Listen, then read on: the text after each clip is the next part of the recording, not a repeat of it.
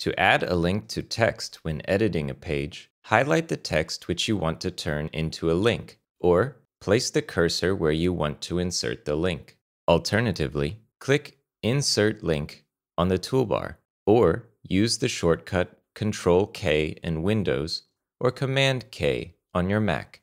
In the Insert Link dialog, you can search for content within your Confluence instance with Search, or by selecting Recently Viewed.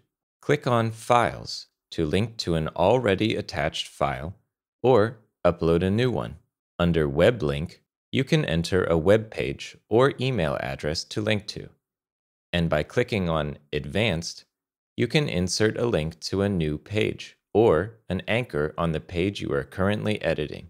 After selecting the target of your link, click Insert. Alternatively, type an open bracket and then start typing the name of the page or attachment. The autocomplete suggests targets for your link.